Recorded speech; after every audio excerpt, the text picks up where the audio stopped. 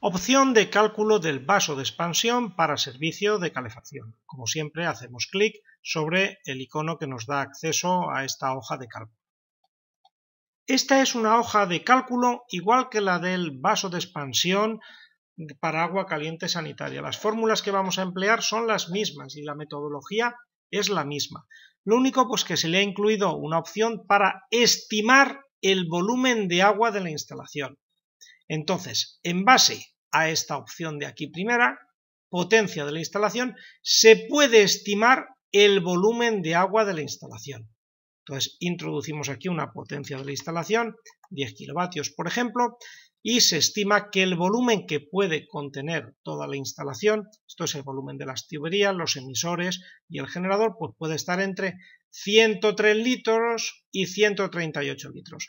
¿Qué estimaciones se hacen? Para 103 se estiman unos 12 litros por cada 1000 vatios de instalación. Esto puede ser idóneo cuando hay emisores de calor tipo aluminio y una estimación de 16 litros por cada 1200 vatios para emisores de mayor capacidad, radiadores de chapa de acero, etc.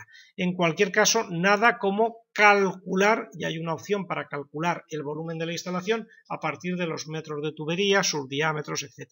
Entonces son unas estimaciones rápidas para seleccionar rápidamente el volumen de la instalación. Consideramos que son radiadores de aluminio y el volumen adecuado son 103, pues haremos el cálculo 103. Aquí introducimos el volumen de agua contenido en la instalación. Caldera, si hubiera un eventual depósito de inercia, claro, eso en las estimaciones no está, tuberías, emisores, entonces el volumen total de la instalación. Entonces los cálculos arrancan desde esta segunda casilla de color amarillo.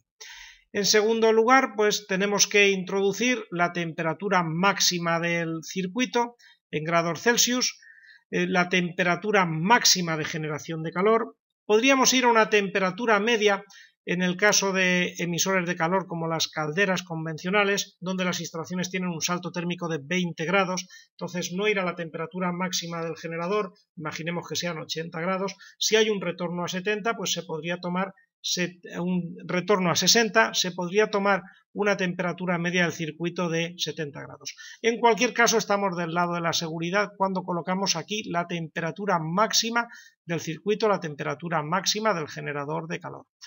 En base a esta temperatura máxima del circuito, pues se calcula el coeficiente de dilatación del agua y el volumen dilatado, volumen de la instalación multiplicado por el coeficiente de dilatación. Este va a ser el volumen útil del vaso, en este caso 1,47. Como en otras opciones, hay que indicar las presiones máximas y mínimas de la instalación. Presión máxima de la instalación, pues normalmente la presión de disparo de la válvula de seguridad, tampoco hay problema en poner algo menos, si la válvula de seguridad acciona los 3 bar, pues podemos por ejemplo, pues colocar 2,5 bares porque estaríamos del lado de la seguridad y en la parte de abajo pues tenemos que introducir la presión de llenado en frío. La presión de llenado de la instalación. Esta corresponderá aproximadamente a la altura manométrica de la instalación más un poquito más, por ejemplo 5 metros de columna de agua, 0,5 bar. Esta presión mínima recomendable en el caso de instalaciones individuales pues estará entre 0,8 a 1,2 bar, que es la presión medida en frío del circuito de calefacción.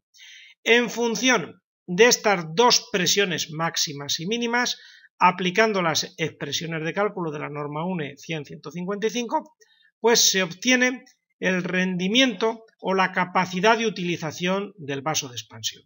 En este caso, 3,84. 3,84 por el volumen dilatado, que es el volumen útil del vaso, de 1,47, pues nos sale un vaso de expansión de 5,6 litros.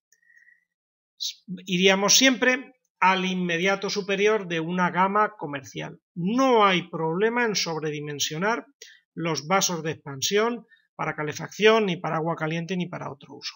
Además, tenemos una presión recomendada en la cámara de presión, 1,3 bar. Esta presión debe ser ligeramente por debajo de la presión de llenado en frío por si se produjera alguna reducción de temperatura en un día muy frío, pues tengamos una mínima cantidad de agua para aportar al circuito y evitar la entrada de aire en el circuito. Además, también se evita que la membrana esté en las condiciones de mínima presión en contacto continuo con la parte metálica del vaso de expansión.